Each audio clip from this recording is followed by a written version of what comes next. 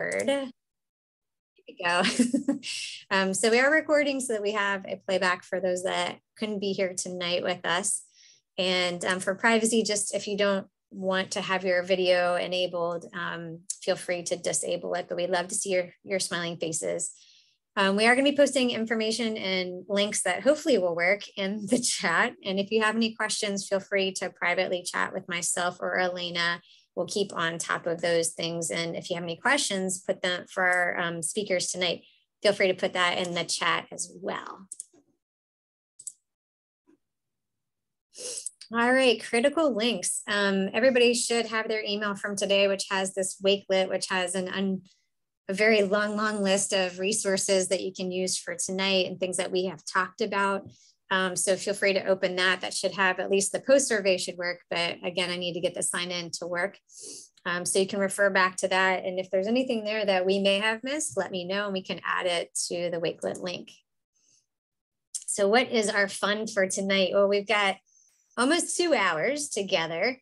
Um, we're gonna knock out this part one right here and um, then we'll float into hearing from one of our Stroud Center scientists in, the ecosystem science department or lab, Dr. Mark Peipoch, um, and enlightening us on what's going on in the freshwater world relating to climate change and any impacts that we might specifically see with those types of systems.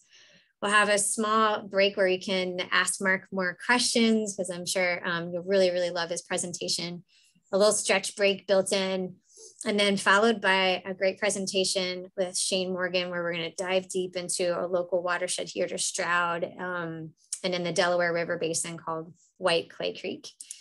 And then we'll um, have Elena and myself a little bit share some of the resources on the Wakelet, just to pinpoint some of the really ones that we just thought were really unique or very supportive for you.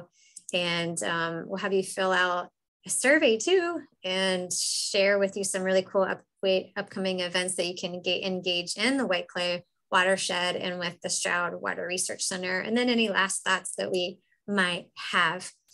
Um, but tonight we're going to be talking about um, not directly about this thing called a MWEE, which is Meaningful Watershed Educational Experience um, that was really begun um, with NOAA and the Chesapeake Bay Foundation. I'm sure many of you are what are called MWEE ambassadors, and we've put a link in the Wakelet to learn more about this funny thing called a MWEE.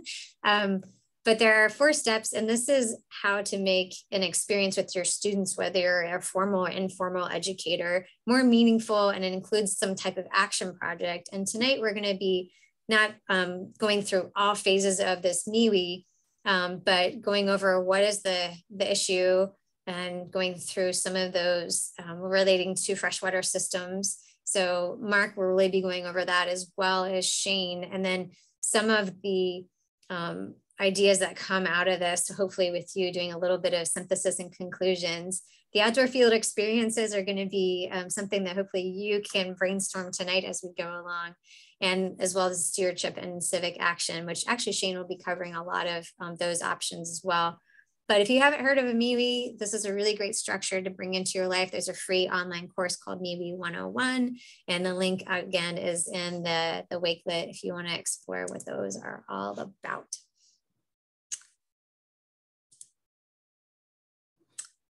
All right, so um, let me go into this. You know, why are we here? Um, as many of you know, this is a really a good time to bring in climate change science literacy. And um, I'm going to pop up here when I can juggle the screens probably after Mark's talk, but um, to know how many of you do teach about climate change and how comfortable are you teaching about it and what resources you have available. So I want to do a poll here in a little bit, but um, you know, it's really a time to empower students for positive change. And that brings back that MWEE framework to help you with that. But we know that's not always easy. And some states right now do not even have climate change explicitly in their standards. Pennsylvania is an example of this, but um, we have new environmental standards coming in the next few years that are going to hopefully bring this in um, kind of lightly. Um, but teachers are not always knowledgeable in the latest climate change science also and where to get the most credible science data. Um, earlier this year, I was in a session at the Association for Science Teacher Education, actually in South Carolina. And there were a panel of science education professors who mentioned many of these challenges. And we're doing research with teachers. And there are a lot of things that are lacking. And um, a lot of teachers aren't com as comfortable teaching about this topic that we're going to be brushing along tonight. But here are some, um, you know, opinions from the National Center for Science Education. I just want you to take a minute to read um, some of these quotes here. Um, Michael Mann saying the climate crisis is the defining challenge of our time. I bet many of you would agree with that. Jacquelyn Gill, they already know climate change is a problem, but we need to also make sure they know that there are solutions we all can be a part of. And that's where, you know, the hope and there is, you know, climate um, anxiety going on. There is a group of actually climate um, psychologists that offer free resources to people going through climate change, um, climate anxiety. So it is a real issue emotionally um, and, and, mentally. And then Benjamin Santer, you know, they have to know how and why the Earth's climate is changing, what those changes mean for their own future, and what they can do to prevent bad outcomes for our climate system. So we won't go into all the ins and outs of climate change specifics tonight, but here are the identified major hurdles for most science educators when it comes to teaching about climate change.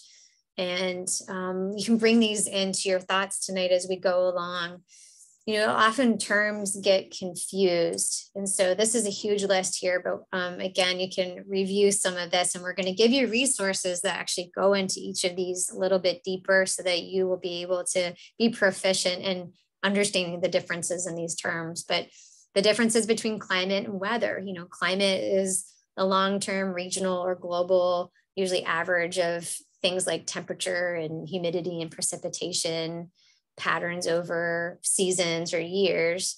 Um, but weather refers to atmospheric conditions that happen over the short term, such as like rain and clouds and snow and storms. So, you know, weather is usually short term and localized. Climate change, um, which, you know, versus or not versus, but climate change and global warming. Global warming is a type of climate change, but climate change encompasses a lot of different shifts on the planets, like um, global warming and cooling, sea level rise, glacier loss, increasing severity and frequency of storms and change in you know plant blooming periods. So um, there's a lot there when it comes to talking about climate change versus the global warming. You know, and there are so many other topics here too that we're going to talk about tonight about climate resiliency and what that you know means relating to freshwater systems but it's also good to know that you should look at the data, um, be very critical of it, um, look for good sources, which we have provided for you tonight. Um, examine how communities can prepare for these changes is always a good topic with students and looking at not only global impacts, but local, which is what we're going to bring in tonight when we talk about um, a beautiful river called White Clay Creek. So, um, so here we are tonight discussing the impacts on freshwater systems in the light of what are called wild and scenic river systems. And Shane's going to go into this um, a lot more, but a lot of these rivers and um, were established and called this by a national wild and scenic river system, um, actually public law that was enacted in 1968 and you can find out a lot about these on your website. But you know, these rivers are classified as wild, scenic, or recreational. And there's, as of 2019, um, this national system protects over 13,000 miles of 226 rivers and 41 states. Let me bring up a little bit of map here, Pennsylvania. So we're going to be honing in on this little watershed right here, which is actually nationally, not only a national wild scenic river, but Shane will talk about it, an entire watershed, which is a very rare designation to have and so special for us. And so here's a little picture of this beautiful creek that we'll be engaging with later tonight. All right, on to the fun stuff. Enough about me. Mark, are you here? Let's see if I am. Awesome. I'm going to stop sharing and welcome Mark Peipoch, um, who is an amazing scientist here with the Stroudwater. You've been with us what, for three, you last everything. so Mark, if you want to introduce yourself a little bit, then you can take it away for us. Thank you so much. Sure. And Mark share screen capabilities. So let me know if I was just checking that out in case okay. that I don't have the right permission. How about that? Yeah, perfect. Thank you. Good. Yeah. So I'm an assistant research scientist here. I joined the Stroud Center in 2018. I consider myself an ecosystem ecologist. Basically means that everything I do, it's got to do with big picture and not too much about detail. Um, I'm originally from Spain, although I've been in the US for, I don't know, 10 years or so. So that's starting to not be a thing anymore. Um, other than that, I uh, get take any opportunity I get to collaborate with the educators. It's a lot of fun, and I, I hope I can give you guys some good information that can help you in your jobs, which as a father of three kids, I put you in a high step. and they do know about climate change. That's right. All right, is this thing moving? Perfect, thank you. Yeah, good.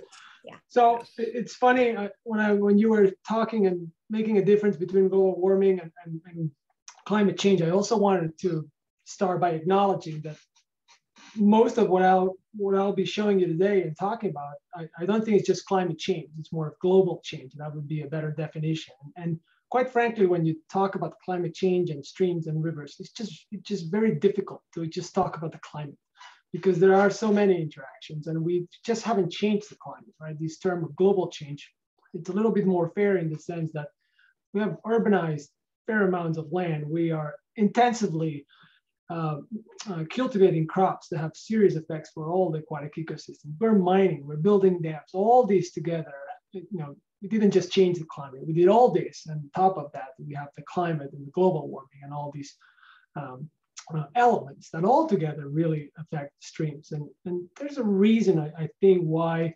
um, you can say that streams are particularly affected or where it's quite easy or noticeable to find the effects of climate change and global change in streams. And in, in plain words, it's because streams are at the end of the line, so to speak. You know, they, they really drain the landscape. You know, sometimes we use the analogy more of a kidney system that just drains all the landscape. And if you think about everything in the water that ends up in the stream, it means that the soil, the forest, top of the mountains, they didn't use it. So it's sort of collecting all these leftovers. And therefore, if you think on climate change effects on stream, probably best not to go and start look in the water, but go in the entire watershed. That's where you need to look everything that happens in the watershed, how climate change will affect the forests, the prairies, the, the crops, the snow, all that will translate into what happens in, in the stream in terms of water quantity and water quality.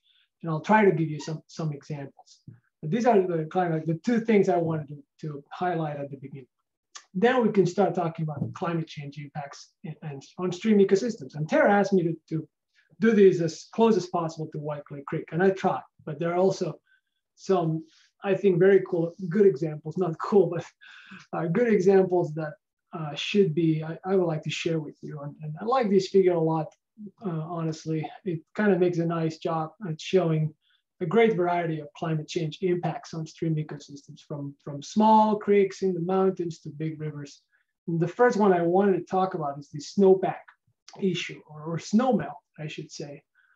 I think it's probably been over the last two decades, we, we started to have some very, very convincing data that shows that, especially in the West and the Northeast as well, these rivers that they have a pretty simple hydrology. They're, you know, there's pretty much low flow until the spring. The snow melt generates this big flood, one flood, one big flood a year, you know, and all the organisms are well adapted to that and data comes in and shows that not only we have less snow, that's that's more known around the society, but the snow melts much faster or sooner.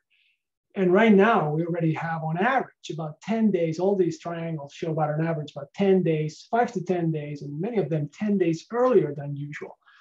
And that doesn't seem a big deal to us for our time frame. But if, if you think, try to put yourself in an insect mind that you have about a month to develop you know, your, your entire life stage and become an adult. And here suddenly you've changed 30% of that time frame and you you show up at a very different time than we are supposed to because 10 days make make a difference in that time frame. That's i think already it's one example of climate change in streams that it's been there's a lot of literature at least in peer reviewed scientific literature and the evidence is it's pretty overwhelming.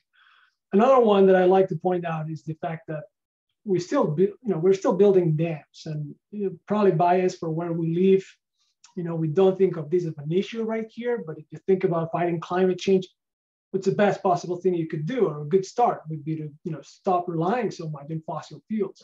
You know, an easy and fair solution, and frankly, the one that we know we can do it is to build more hydropower and and and try to get our energy energy from the water. And and that is fine, but you also know probably that that have tremendous negative consequences for pretty much everybody who lives in stream, from uh, small things to fish, and also to the to the hydrology. And we are not particularly on the top. Actually, we are not building many dams anymore. Um, but if you look at Asia and South America, there's still a lot of dams being built, a lot being uh, projected in, in beautiful places like the Mekong River, which is a spectacular river in, in Asia. And it's about to be dammed as well. So it's kind of a situation where in order to do better in terms of our reliance on fossil fuels, we, we're you know, damming rivers that we know it's not, not going to be helpful for them. But in order to you know, stay closer to our area, I think of all these um, options here, you know, groundwater, habitat loss, forest fires, you know, you were in California, probably chosen that one. The one I really want to talk about today is this extreme weather. It has very close ties to how agriculture affects the streams, but mostly these extreme weather, extreme flooding, or extreme rainfall events. I'll probably use these words all around, but what's going on with the climate change altering how frequent and how strong, how intense in magnitude these extreme rainfall or weather events have become. I should probably, I, I, think it's fair to say that it's one of the strongest, perhaps the strongest, but certainly the most pervasive climate change impact on stream is these changes in the flow regime. And, by flow regime, I mean, you know, usually we can we can say, well, tell me where that stream or where that river is in terms of the geography, and I should have an idea of what how much water should I find throughout the year. Right? We know, like like before, I was mentioning the case for spring melt rivers or others that are on rainfall uh, uh, dominated or desert streams that only flush every now and then. We know that, we call it the flow regime. And these climate change effects are really making a hint on changing that paradigm. You can imagine that everybody who lives in the river finds that pretty uh, overwhelming in the sense that you have adapted and evolved to a certain flow regime and now it's being changed. So it really has effects on on the productivity of the ecosystems and how much plants and algae can do photosynthesis, on the nutrient cycling, most importantly, on the species that live in there. And this, in, in 2018, I think we got, got a beautiful picture of, of what's going on because it's really, a, it's really an extreme situation. It's not just happening in the same manner everywhere. In fact, where we are, we are getting the extreme wet part of the spectrum and some places in the southwest and northwest, they're coming drier, right? And well, you could mention that this was uh, a ranking period of, uh, I, I, believe in Chester County, we had the second wettest year in record in 2018. And you know, it's one year. You could say, well, not all regions are being impacted equally, but you know, maybe 2018 was just a bad one. And in reality, we're seeing that this seems to be uh, a little bit more compelling in the sense that this is showing for the last 70 years. And now we look at, well, let's take a look at how much of this precipitation falls in one of these, in these heavy events. You know, we call this the 1%, the 1% of the highest or the strongest rainfall, um, how much of that have increased? And we see again this pattern that in the West, know, the percent increase is very low in the amount of precipitation that falls in very heavy events. Think of you know uh, tropical storm kind of stuff. And here we are on the top, you know, the 71%, a 70% increase in the amount of precipitation of, you know, that falls within heavy events. So it's not just really about, oh, tell me how much water you got this year. It's about how you got that water. Did you get it, you know, in five rain events uh, where kind of smooth and you get, you know, the land has time to soak the water or they just fall in one event that totally uh, collapse the whole land and then we have these large floods. And this is, this seems to be also uh, happening and, and I, I, think the evidence starts to be at a point where it just started to say that these could just be random and uh, unfortunately, we've got familiar with it. Just you know, with Ida was the last one, and uh, everybody who's in the area remembers that very well, especially those who live in the Brandywine um, watershed, which was probably one of the, the most impacted ones. And unfortunately, too, the USGS maintains a, a, a stream flow station in Chadds Ford, right when where the Route One crosses Brandywine Creek. It's one of the oldest that we have. We have a record from 1912 to date. And if you plot the maximum flow that we've seen in that uh, spot every year, you know, you see these big storms every now and then. This is all at one, the biggest storm of the year. But there are some years that you really get a big, big storm. It happens every now and then. Until lately, since the 2000s, they really seem to be picking up and happening more frequently we're not at the point that you can say, well, that's you know for sure statistically significant, or, or I definitely see a pattern. But you look at this plot and you surely starts, you know, to, brings you some concern that does look like we are getting more of these extreme events seem to be happening more often. And in the case of Ida, for instance, was was the highest ever on record. How about White Clay Creek? So, well, here, this is right outside my office. So this is uh, I, should, I should say the east branch of the east branch of White Clay Creek. It's not the entire watershed. And we don't have a record that goes back to 1912, but we have one that goes back to 1970, 1968, to be more accurate. And while here, the, the news are a little better. You know, we don't really see this pattern. And just to be a little bit optimistic, I think you don't really know uh, how much you can trust that this pattern is not here because of climate change or perhaps we would like to think that because this watershed, this sub-watershed has really received a lot of attention, mostly from the from the Stroud Center and, and our collaborators. And there's been a lot of riparian reforestation and installation of these level lip spreaders that collect water uh, runoff from the fields, have floodplain wetlands. We don't remove large wood in the channel, which is something simple but effective a lot of best management practices, practices in the land. All these helps decrease flooding.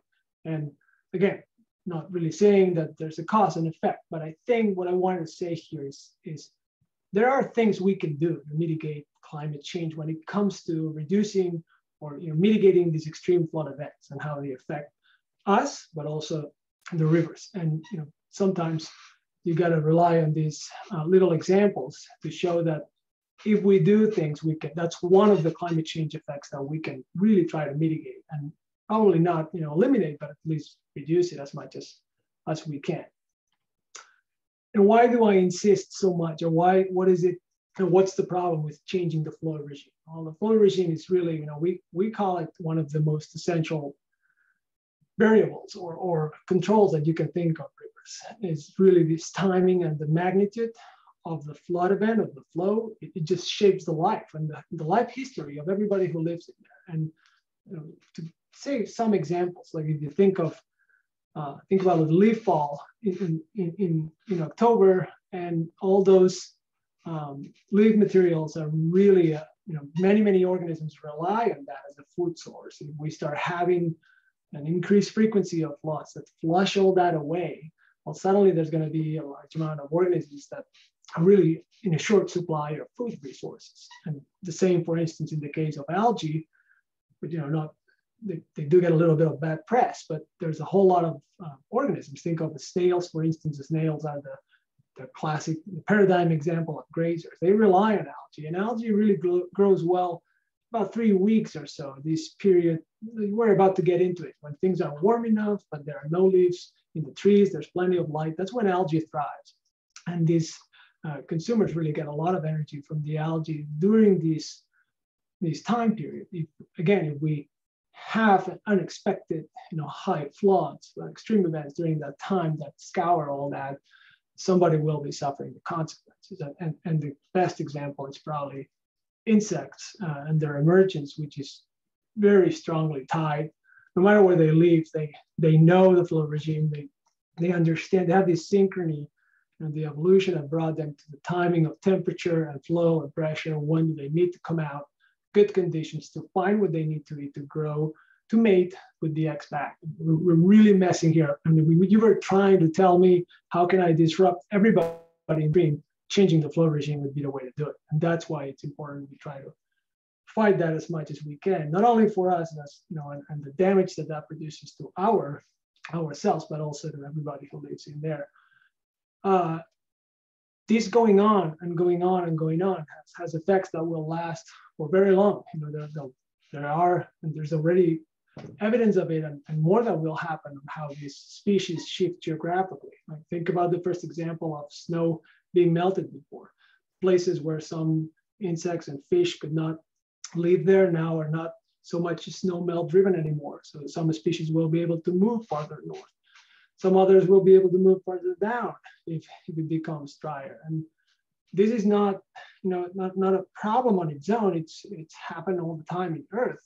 But we do are going to have, you know, we're going to have losers and we're going to have winners. And the problem, altering the abundance of some species and not others, usually have the problem that you know, the winners, they were already there and now they are more abundant. The losers, if they disappear, well, there's not much you can do. You don't, you don't get them back. It's not like once they're done, they could recover later on. When species is done, it's done.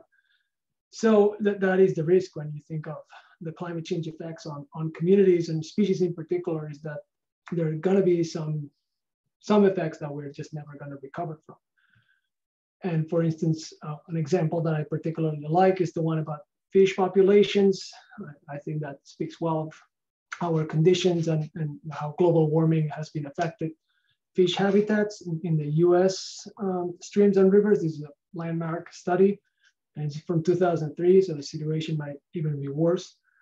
It's pretty striking that we have lost as much as, uh, of habitat, of cold water habitat, as much as we've gained warm water. What essentially that means is that we are losing trout habitat and generating trout for you know, things like common carp usually we don't like that much. There's nothing wrong with them, but you know, again, some some winners, some losers, and the problem is that if, when we lose, we will just never recover. Well, these guys were here before; they're just now finding good habitat that they were not able to reach in, in, in previous uh, conditions. But um, beyond you know species and and all that community effects another very important part of what happens when we increase this frequency of of extreme events these floodings these these high uh, precipitation events.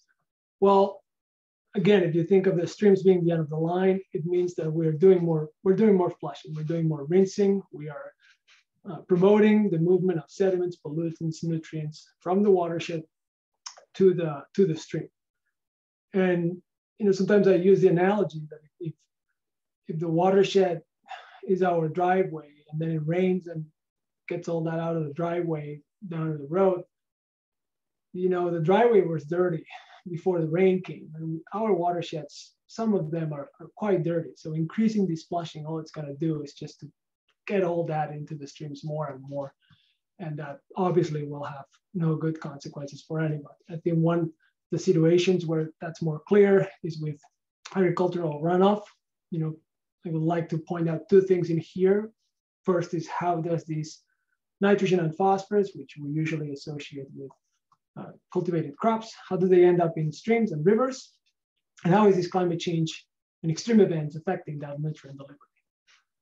First, let me point out that sometimes I'm not particularly keen to the term nitrogen or, or, nutrient pollution or nitrogen or phosphorus pollution. Those, those two elements are natural nutrients that always been here and in the right dose, we need them as everybody else to build biomass.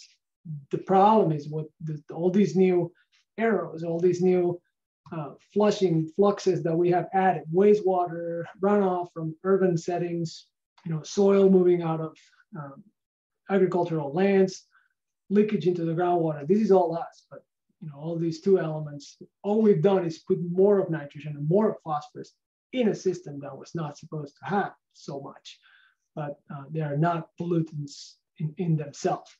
So in the right dose, they're added. The problem is we have all this sitting in here. And by increasing the amount of rinsing of the landscape, increasing the amount of extreme events, all we do is to exacerbate this nitrogen and phosphorus getting into the water. But they get in there in very different ways. And I kind of want to give you some examples on what climate change will affect and what will not affect. And nitrogen and phosphorus are pretty much like black and white in the sense that nitrogen, uh, it's mostly, we find it mostly in the form of nitrate, NO3 right here. And if you see, you don't have really have to take a close look to this diagram, but just to give you an idea that runoff and erosion in terms of nitrogen, it's, it's a pretty small error. There's a pretty small flux of runoff. It doesn't really travel uh, overland. Instead, it leaches quite a bit. Nitrate tends to go to the groundwater pretty fast. And here's the diagram. Now, all, all a big part of what we put in the crops will end up into the groundwater. But it, it does go slowly in the groundwater. You know, it generates, this is, this is a pretty accurate scale, 10, 20. By the time it reaches the creek, it's been 30 years. Obviously, we didn't start cultivate yesterday. So we've been doing this for a while and our groundwater usually has very high levels of nitrate. And this is something that increased extreme events, you know, climate change effects will not particularly affect that. Uh, in fact, I wanted to give you an example of White Clay Creek, again, from 1970. And this is considered not a bad stream around here at all. But if you notice, um, sometime in here, when things were getting even worse, that's when all these BMPs and you know Stroud Center and, and friends started to be very active about these little watershed. And if you want to see it, you can say that it's going down. But the point I want to make is that even if we shut up everything we do in the watershed, it would take you know, decades to recover that nitrate level because right now it's in the groundwater. Those legacy effects, those those parts of the global change that are not necessarily affected by the changes in the climate will, will, will take a long while. And some of these effects are, will not make them worse, will not make them better either. So in the case of nitrate and climate change, there's a little bit of a disconnection, at least, at least for nitrate. But the phosphorus story, it's very different. And I like these um, pie chart plots because they show that you know most of the nitrogen that gets to the stream, it's this blue part, what we call base flow or groundwater, and a little bit is a storm flow. And for phosphorus, it's almost the, the opposite picture. Most of the phosphorus travel during storms and travels overland with those sediments. So for phosphorus, increasing these extreme events and this rinsing of the landscape does have tremendous consequences. And that's when the urban runoff in particular comes the biggest problem, because that's where we have made a lot of impermeable surface. So we increase this runoff. There is this estimation of about half of the water that falls in an urban setting ends up straight away in the river. That will carry pollutants, the phosphorus, and, and in, a, in, a, in an ag setting as well. Uh, a lot of phosphorus also reaches the stream during this overland runoff. But again, trying to be optimistic, this is very similar to what I was saying before that we've done in the watershed. This is the case for Baltimore and the Chesapeake Bay, I believe. And um, you know they've been really able to show reductions in phosphorus loads during high storm events when there are more BMPs, best management practices in the in the area. So again, by doing that, there is a you know capability to mitigate this and, and things to do to to stay uh, you know on guard against these, these increased extreme events when it comes to phosphorus. There's hope, I guess. And lastly, but not least, which is probably the scariest one, is that, again, increasing the, the rinsing of the landscape, increasing the flushing, the more extreme events and more rain will turn into whatever we have out there there'll be more reaching the stream. And there are some pollutants that we barely know, like recently the PFAS and others that we don't know, but will surely show up. And others we thought that was not an issue, and now we're realizing that they might be, like this last picture of salt. And I wanted to finish with something that we've been lately talking a lot here, mostly because our entomologist, John Jackson, had just got a, an interview by the Philadelphia Inquirer and got this article that got a lot of press about what happens when you know we have all these road salt and the winter storms comes in. May before they were snow, the, now more often than not, they might just be rain, which makes things even worse. All that salt is in the river. We have a long history of studying how salticity affects uh, insects primarily, and obviously there's there some of these streams get so salty that uh, nobody who lives there is is um, having a good time.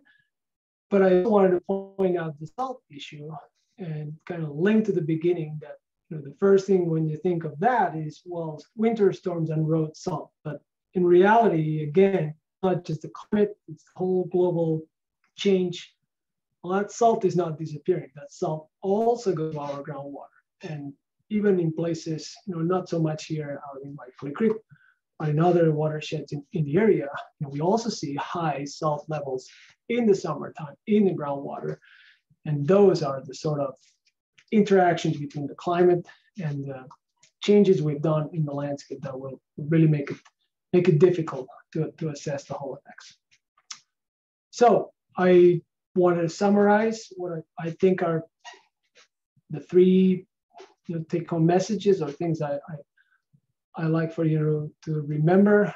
Um, first, that you know, compared to other ecosystems, there's a point to be made that stream communities are particularly vulnerable to global change effects, just because the way you know, they are designed, because they, they're the drain of everything else in the watershed, of the forest ecosystems, of the uh, grassland ecosystems, mountain ecosystems, they're all somehow at the end connected to the stream. So they're particularly vulnerable by being at the end of the line.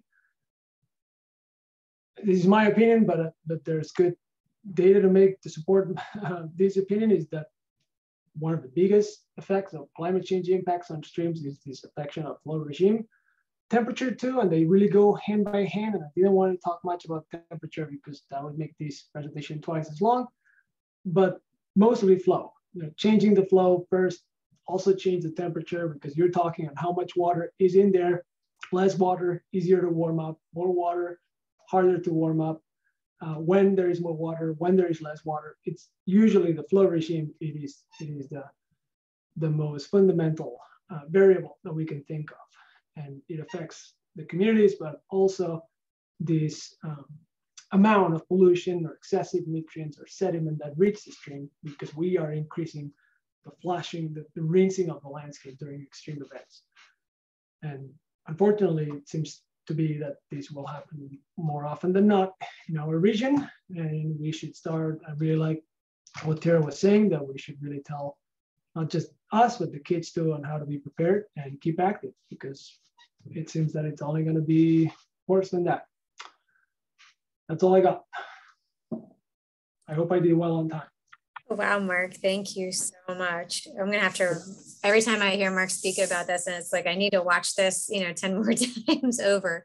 But luckily we will have the recording. So um anyone want to share anything or have questions for Mark? Like takeaways? Yeah. Um, Katie, did you want to say something? Or was that just a wave, like a yes, that was awesome? Sorry, you're muted. yeah, no, definitely. It was just like a, a, clapping. That was wonderful. Thank you so much, Mark. That was that was very insightful. Sure. And um my pleasure. Yeah. Yeah, Mark is really good. I know Kevin. Yeah, thinking about like being able to explain things. I tried, Kevin. Relatable. the, ir- the irony is that is the most difficult thing for me. yeah, and that I just wanted to comment on how the the road salts are affecting our waterways was just absolutely stunning for me to just learn about the first time. Like it seems so obvious, and it's just so important to keep getting that word out there. So kudos to Stroud for getting in the media. It's it's awesome and very important yeah, kudos to John Jackson, two doors down the hallway. He's been really leading the charge. But don't tell him I said that. That's his feathers. But it's been happening for so long now too. And it's like, when is this message gonna finally gain traction? And there was like the opening finally happened, you know, because I know Shane's probably been witnessing it for a long time.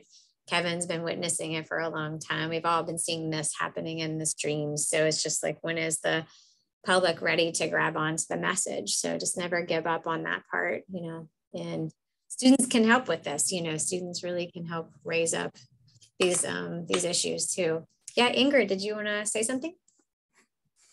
Yeah, I just had a quick question, Mark. So if you're saying that the, the biggest impacts that they're seeing is to the flow regime and to the temperature, if um, we were doing um, community service activities and, and education and had monies, would it be um, more likely to put those into BMPs that affect that flow regime, like riparian repair, planting trees to help the temperature and things like that, instead of non-point source pollution um, remedies?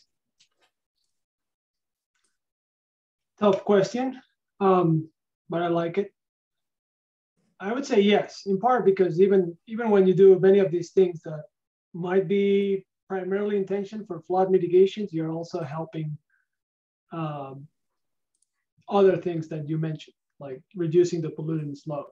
You know, like think about a riparian buffer will not only help you reduce flood, but it will also take away some of that phosphorus, some of that sediment before it reaches the stream. So it's it's all connected, and you can really cannot get it wrong by doing that. I think that's that's the way I wanted to say that if you have to pick, you know, the one master variable, it's flow regime. And just go to, you know, go to the, go to the heart of the problem or, or one of the most elemental things on how these systems function. Obviously, that will depend on, you know, the the there are exceptions for sure, and you might be looking at a, at a, at a case where you want to do something else. But I really think there's no, especially with planting trees, you know, the cost benefit is incredibly high. I mean, there's nothing like that. And not to say that other options are not valid, but that one in particular will, you'll check a lot of boxes by, just doing something like that. Yeah, and you know we we like to use this watershed as an example of obviously it's a small watershed, and that makes things easier. Um, and we put a lot of effort. The restoration, the science, the education team, the partners, the Stroud family, everybody. So it might be uh, an ideal scenario, but I really like the idea that in, in that sense, there are things we can do. You know, in some others, you know, might be too late. but, but for this one, there's a lot to do to mitigate these extreme events, and we should try.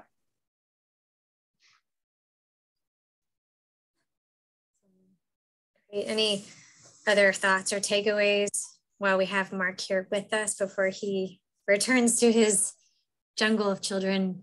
are the That's a good way to put are it. they already asleep or are they? He's got three boys. Wow. Yeah. Yeah. Anything else? Last thoughts? Hey, Tara, can I make one comment Yeah, on, on that last question? Um, and we 100% agree with the trees and planting the trees and having them shade the creek, um, as well as sequester carbon and things like that. Um, but I just wanted to mention that some of the green infrastructure practices that uh, collect the first flush of stormwater. So that's like the first, you know, inch of rain or so that that hits the ground uh, collects some of that thermal pollution as well. So it does help to some degree with cooling, even if it's you know a stormwater basin of native plants and not necessarily all trees. There there are some temperature benefits um, to that as well. Absolutely.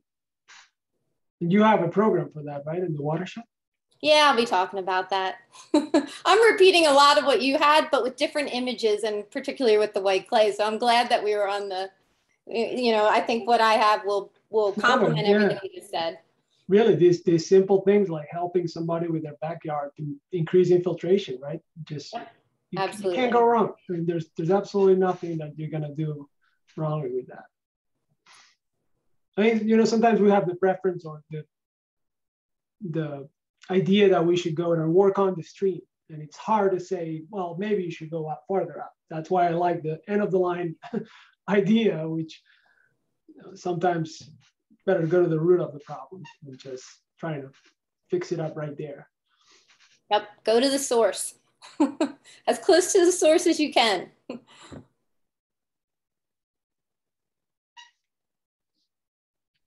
Great. Going once, going twice. Any more thoughts? All right, Mark, you are, you can be wild and be free. Thank you all for your work. Most important one in the planet. Bye. Thank you, Mark. Awesome.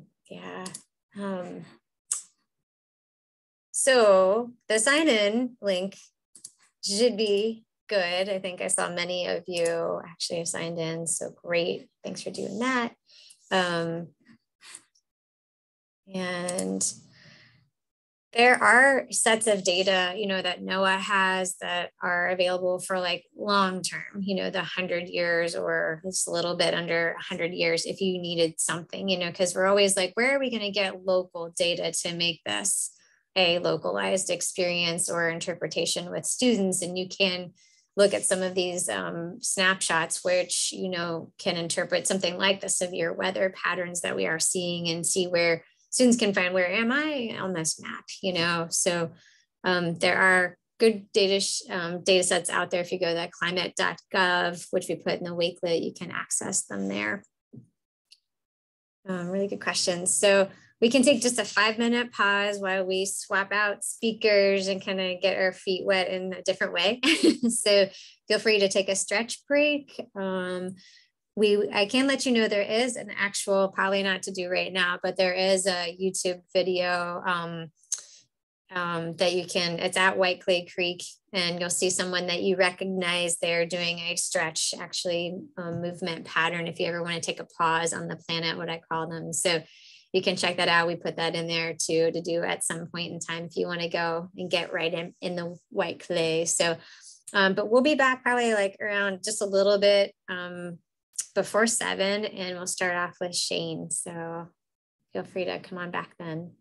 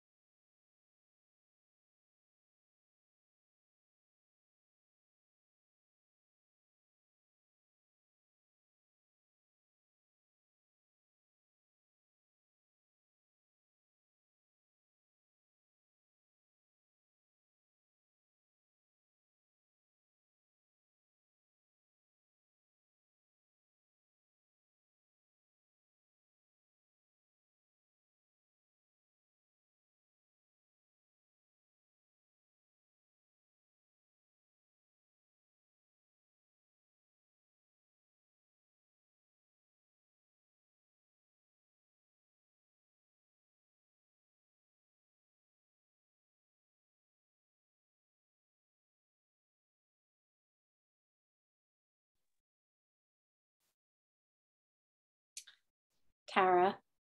Should I share my screen now just to have it ready? Or do you, did you have more you wanted to? Oh, you're muted. Okay. That's why I was like, hold on. Um, I have a couple questions in the Zoom poll that I wanted to give first as kind of like a wrap up from, okay. and then we'll have you rock and roll. Um, but actually, I can, yeah. All right. One second. All right. Um, folks are popping back a little bit. I'm gonna see if this actually works. I haven't done Zoom poll in a while, but um, a few questions I would love to have to ask you all, and as part of our grant with National Park Trust, because they have a climate change focus, and so I was just curious about. There's three questions. Um, you could let us know if you teach at all about climate change in your any of your programming, whether you're a formal or informal educator, however you interact on the planet.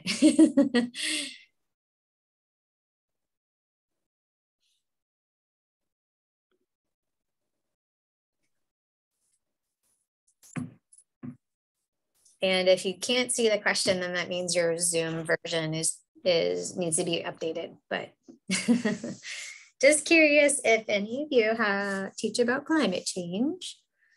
And we'll give another five more seconds for folks to answer.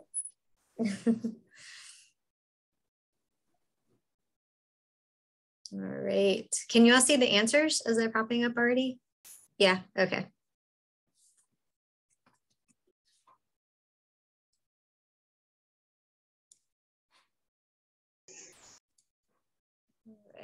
So it looks like we've got more than not that get to teach about climate change. Awesome, thank you. Um, and I'll share the results. All right. Just curious because every state is different um, and how they actually emphasize or encourage or not. All right, so let me get to the next question, which is just about your comfortability about teaching climate change. So on a scale of one to five, how comfortable are you about teaching anything related to climate change before tonight? so before tonight.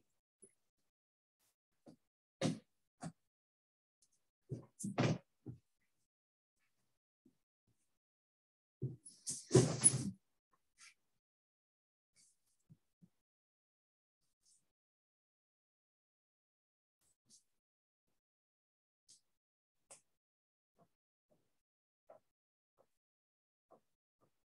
about you, Jasmine? My co-host tonight, who's gonna probably end this meeting soon and just be like, boom. All right, so give a few more seconds. We have 10 of 15 participating. You don't have to, but um, tell us if you're how comfortable you are teaching about climate change.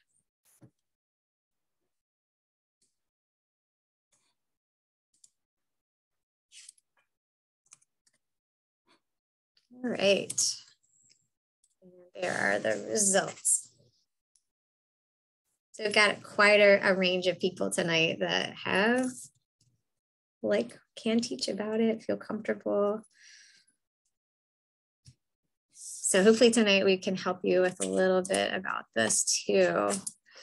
And then um, the last question is just about climate change resources do you know where to go for credible climate change resources, including data, um, videos, anything that's supportive for you as an educator?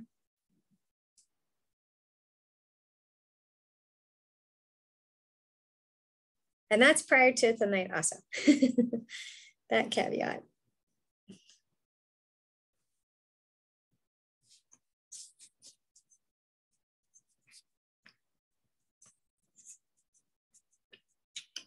Okay.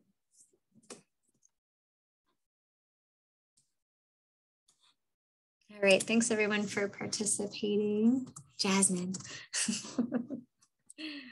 and those are the results. Cool. All right, so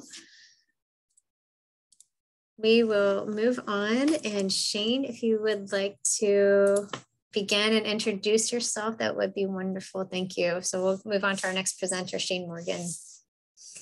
Okay, let me let me get set up before I start talking or else I can't figure out what I'm doing with Zoom. So one second.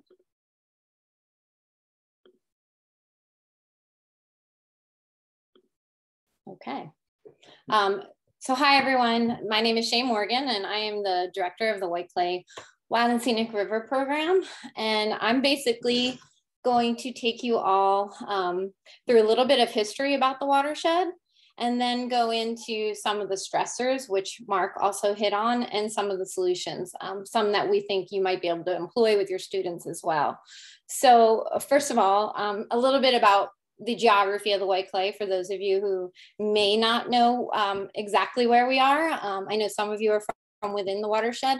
But if you look at the map in this upper right corner, you can see where we're situated, um, pretty close to Wilmington, between Lancaster and Philadelphia. And we're a bi-state watershed. So about 55% of our land uh, lies in Pennsylvania and the other 45% is in Delaware.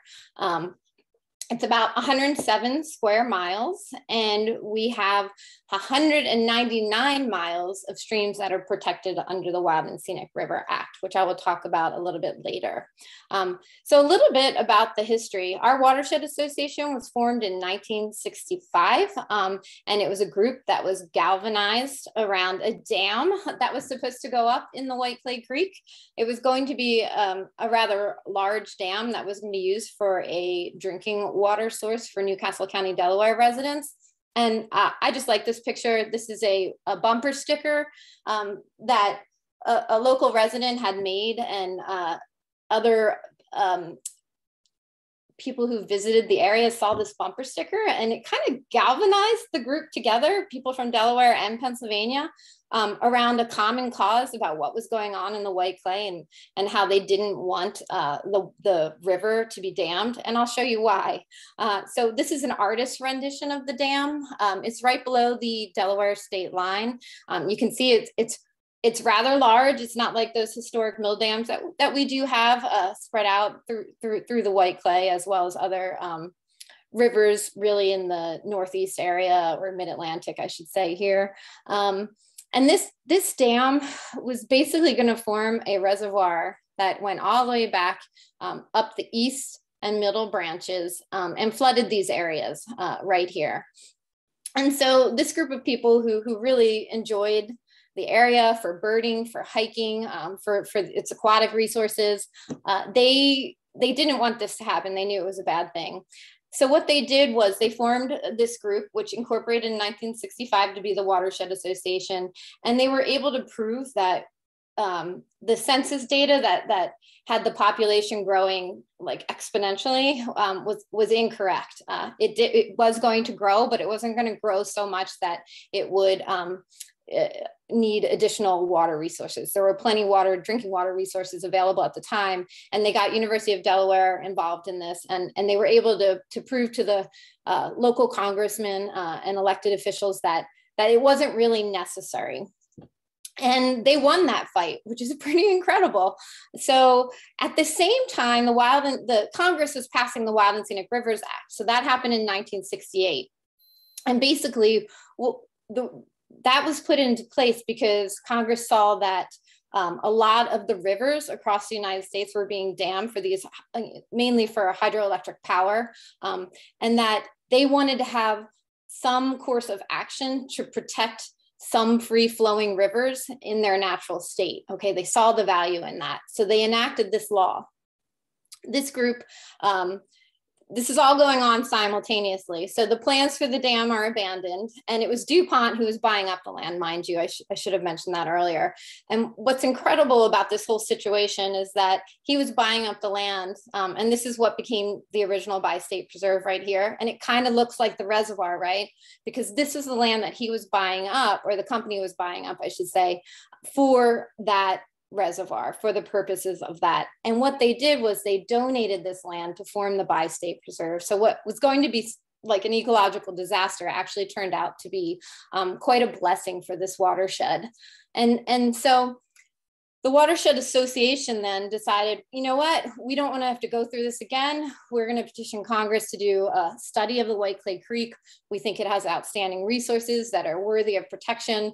Uh, they thought they had the local um, buy-in from the municipalities and the two states um, to do this, and um, they they won. And actually, it was I believe Senator Joe Biden at the time who helped them get this passed. Um, and so a river study ensued for about I don't know seven to eight years, I believe, and a watershed management plan came out of that and they deemed uh, congress decided and national park service who helped with the study that this was a river that was eligible for protection and so in 2000 it was signed into law and the white clay creek um, gained that uh, designation and it was also the first wild and scenic river to be protected on a watershed basis, meaning all the land that drains to the river, which is exactly what um, I think Tara brought up in the beginning. So, so what does it mean to be a wild and scenic river? Um, first of all, it's a really special designation. Um, less than 1%, it's like less than half of 1% of all rivers in the United States have this designation. So it's special in that manner. Um, we are also a partnership wild and scenic river, which sets us apart from other rivers because we're not um, federally managed and there's no federally owned land in the watershed. So we're locally managed. We, we rely on ordinances um, and local municipalities and county agencies to manage the watershed um, in a way that really won't um, degrade it. Um, so but with that, we do get extra federal oversight. So, for instance, if there's a project like, say, a bridge crossing um, that's going to impact the better banks of the creek and they have to go get a permit to do that, that permit will then get flagged and it will go to National Park Service for extra review. And then they can make comments and suggestions on it and they work it out with the other federal agencies. Um, and then you know, hopefully whatever project goes in will have uh, minimal impact. It should have no adverse impact on the creek, but I'm just saying minimal for now. Um, we also get federal funding from the National Park Service. So every year we get a budget um, to implement projects in the watershed management plan. And that is um, a, a, huge resource for this area. So we can do projects anywhere throughout the watershed um, as long as they are in line with our goals set forth in that plan so for some of you who are not in the area, even though all of you are probably very familiar with Piedmont streams, yeah, even the person down in South Carolina probably looks familiar to you as well. This is the middle branch of the White Clay Creek um, in one of Franklin Township's preserves, and it's one of my favorite spots. But this is, I mean, this is the beauty of the creek, especially in that heart uh, of, of the watershed where the land was preserved. Um, this is down on the Delaware side. It's a a popular spot for hikers, bikers, even fishermen in the creek. Um, and this is very close to where that proposed dam was going to go up that I showed you pictures of. Here's some more. Uh, this is a popular swim spot on the Pennsylvania side. Uh, and again, it's, it's just a very pretty Piedmont type of stream with ridges and valleys throughout. Um, we do have a lot of ag land and they offer different types of views, um, sometimes just as beautiful, um, but we I I did want to get a picture of that in here. And then it's it's in the wintertime, it's just as serene and, and, beautiful and you can see further. So sometimes it's cool when you're up on a ridge and you can look down and see the creek. Um, and when other times it's completely hidden by trees. If you want to see more, we do have a, a virtual tour on our website that you can, you can find it on our website. And basically, we selected a few spots throughout the watershed. Um, there's an interactive map where you can click on these little diamonds um, and they will give you information about the site. There's usually a trail um, associated with it that you can take a hike on. Um, we did this mainly because of COVID and we wanted to still get people out and celebrate the White Clay Creek, but it is um, eternally living on our website because it's been a, a, resource that people have been using. So please feel free to visit um, virtually if you can't come here in person. So, what are the stressors or challenges to the watershed? Um, I tried to get a better stock photo of, of people, but really we are the stressor. Um, with with this is New York City, but you know with people you get more roads, you get more buildings, you get more impervious surface, you have more pollution, whether it's air pollution, water pollution. Um, we we make changes to the landscape that that really do um, affect what happens down the stream. Um, and here's like more of a typical situation in white clay. Um, this is not taken from white clay, but it's a suburban development. So you get the idea, houses, roads, sidewalks, driveways, American lawn, all these things that kind of banish um, nature and natural features to like the outskirts where you can't where you can't build. Um, and these create different problems. Um, nutrients come from lawns as well, um, and then runoff from all the impervious and whatever other chemicals you might, put on your property or on your road, like salts, um, as Mark had mentioned. So the land use in, in White Clay Creek is, is, is varied. We're about a third developed. So the yellow and the red are the developed areas, red being more of the commercial development. We're forested about a third, but you can see how fragmented it is, these green pieces. So a lot of it has been, you know, destroyed for other uses. And we're about a third agriculture. And most of the agriculture is in Pennsylvania, especially in this upper uh, area um, and where Stroud is, but they've been doing a lot of work here, which is great. Um, this is the from the 2010 census the orange layer is is considered the urbanized area. So that's where most of the people reside which matches up with this map as well. Here's the bi-state preserve and most of our forest land and here's again where, where most of the large landowners are with agricultural properties. So these are all from white clay, these photos. And I, I, I didn't know that Mark was going to focus on flow regime, uh, but that is actually, um, as someone who's more of a practitioner in the watershed, that's what we focus on as well. So uh, problems arise when you don't manage stormwater. You know, here's this, this is stormwater from a, a old development that was put up probably in the 60s. It has no stormwater management because we didn't, we didn't do, we didn't do stormwater management probably until 1990, like where we really started putting in um, structures that capture stormwater from the developments that we create. And so every time it rains, even though there's a lot of trees in this um, neighborhood, there's still a lot of runoff. And you can see the sediment coming from uh, running off from people's driveways and their yards um, and, and, whatever else. There's no ag field up here causing, causing that sedimentation going to the creek. And it, it literally flows right down into the creek. And like Mark said, there's a lot of stuff in the water that we can't see. We can see the dirt, and we know that with that dirt, things are other things are being washed off and, and brought to the creek. Um, but more, even more recently, we're seeing road blowouts. So this was a blowout in 2018 when we did have all that rain from from a, a, stream that barely is a trickle most times of, of, of the year. But this is a big storm event. It was one of those more intense ones with like a five inch rain. I think we had five inches in less than an hour, and it blew out a lot of roads, especially in the red clay watershed next to us. But this was one that happened uh, locally. And so we're, we're seeing a lot more of that and bridge blowouts as well on, on some of the smaller streams. Um, we also see the flooding. This is down in Newark. Um, this happens quite frequently. This is at the bottom of our watershed. We see flooding everywhere though. Uh, we saw flooding, uh, this was, I, I think this was Ida. I can't remember if it was Ida or the, or the one the year before.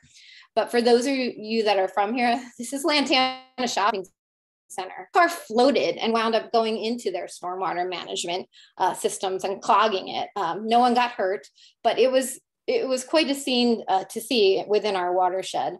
And then we also have, you know, the construction runoff and the ag uh, field runoff when there's large intense rain events, as well as things that get in the water that we can't see all the time. Um, this was a fish kill in the white clay, I want to say maybe six years ago, um, and it was hard to pinpoint the source, but we think it was chemicals that were used to put out a, a hay bale fire that had eventually run off into the creek. Um, so there's all all sorts of things from our impact from land use um, that get into the get into the water um, and either polluted or cause flooding and other flow regime issues.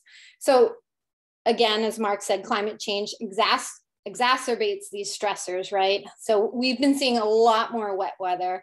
Um, this is from the National Centers for Environmental Information, but basically one of the wettest years, and this is, it's not the year because it's February 2018 to 2019, but it's the wettest 12 month average we've seen in Chester County. So that year we had 72 inches of rain and our normal rainfall is around 44 inches. Um, and since 2000, we have seen that average increase every year. And the Chester County uh, Water Resource Agency just put out a report on this. And they, they think that the 12 months average is, is, is going, is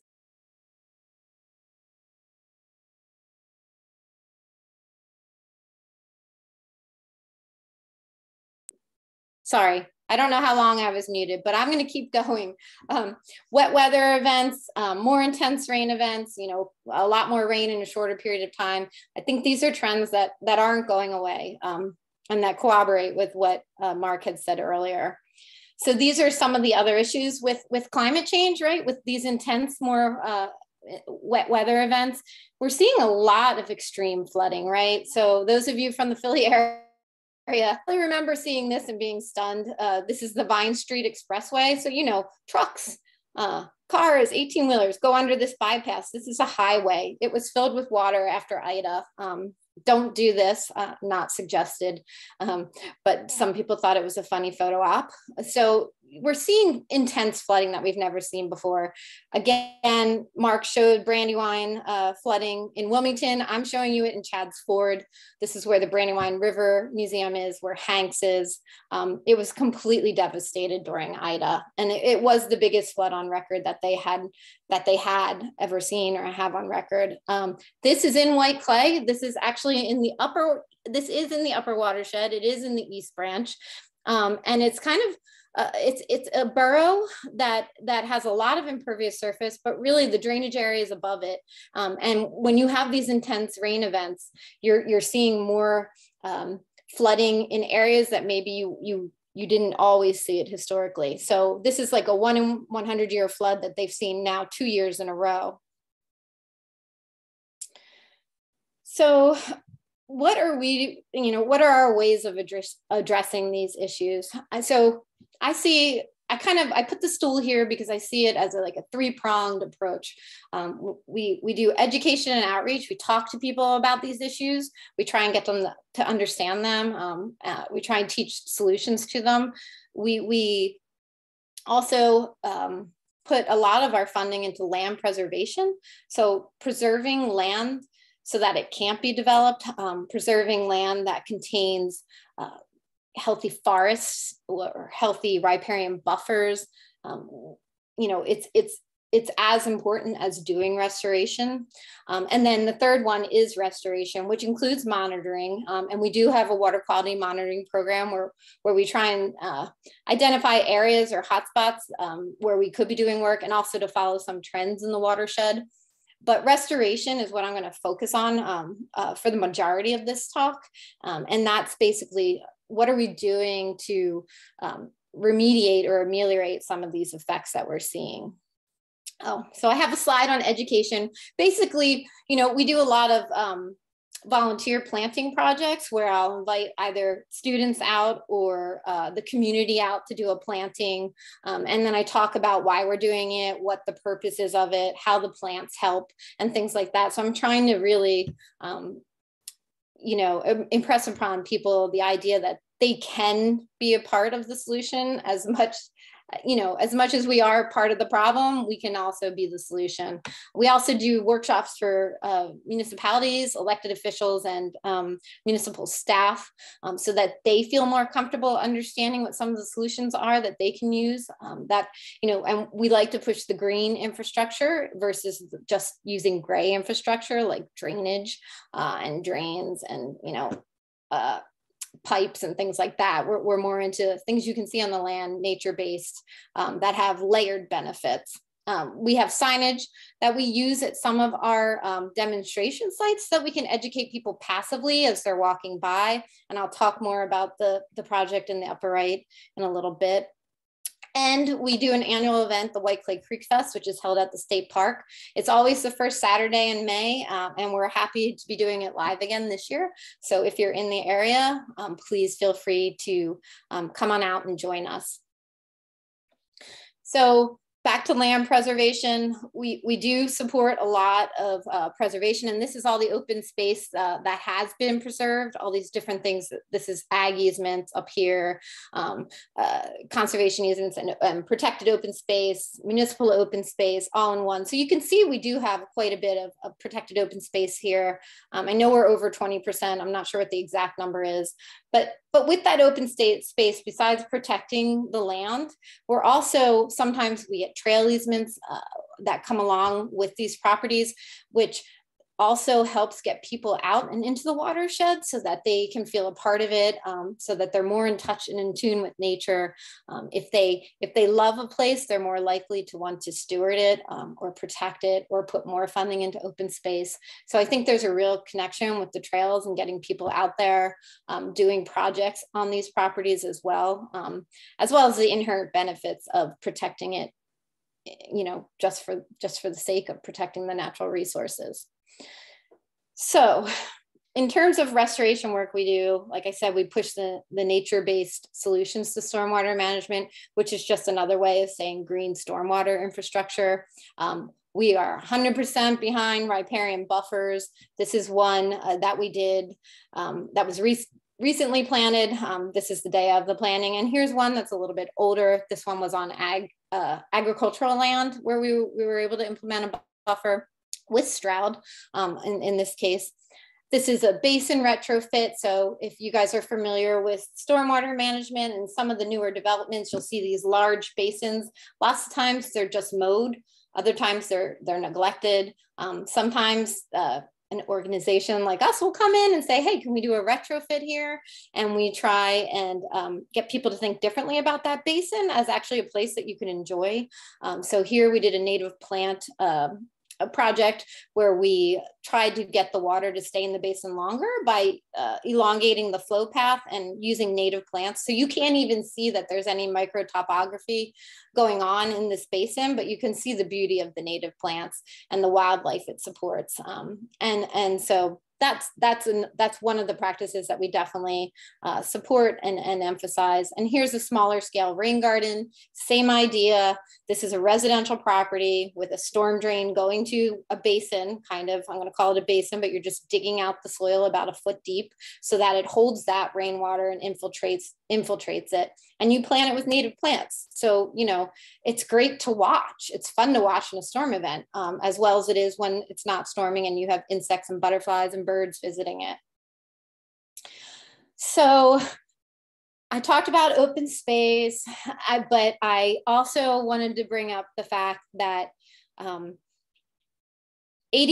um, of White Clay Creek is privately owned. And um, if you're from Pennsylvania, and, and you know delaware might not be as as stringent as uh, pennsylvanians but we love our private property right? We want keep off my private private property right? We don't want people coming in and doing things or telling us what we should be doing. Um, however if we really want to make a difference in this watershed, we need to reach out to private landowners and we need to get them on board with, with the solution. And so one of the programs that we started in 2016 is called Catch the Rain program. And it's exactly what I'm saying. The, the goal is to, to catch the rain, okay? So we offer uh, incentives, monetary incentives for voluntary implement, implementation of nature-based practices. So if this is a before picture of a, a, typical suburban home and you can see the roof water, you know, just coming on out, makes it to the street, which eventually goes to a storm drain or a creek at the lowest point. Um, it comes down the sidewalks, it comes down the driveway, and it comes across the lawn because, like I said, lawns that are mowed uh, on a regular basis really do do very little for infiltration. And so we encourage practices uh, like reducing lawn and putting in native plant gardens or rain gardens to catch some of the, the stormwater, pervious pavers, so taking out asphalt and putting in uh, permeable pavers, which have, uh, they can drain and they often have like a storage basin underneath, like 12 inches of drainage rock and stuff where they can store extra water.